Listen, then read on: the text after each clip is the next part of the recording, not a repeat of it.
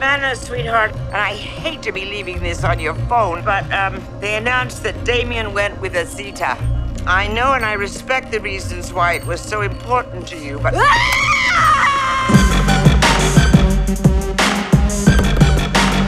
happening in LA? Visiting family. On the last season of Praise the Lords, I was making 300000 a week. I was nine years old. What are they offering? Five million. Breathe. I hired a girl. It's amazing. Why is it amazing? This isn't a very glamorous job. I'm not used to glamour. She's disfigured, burned in a fire on her face. Do you know how my mother died? No. In a fire. People don't just enter our lives randomly. We call them. Then what is she doing here?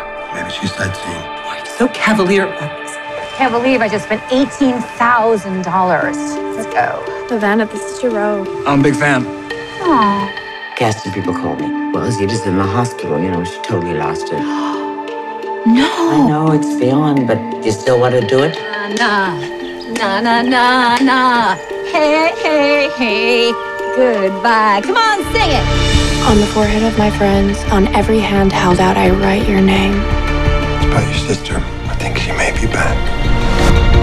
I think you're a little crazy. So, Am I better looking than her? You want that role, but you're not gonna get it.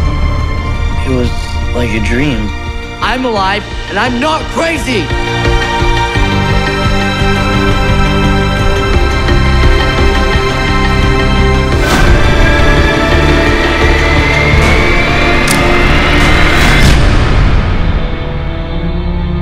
On the stairs of death, I write your name. Liberty.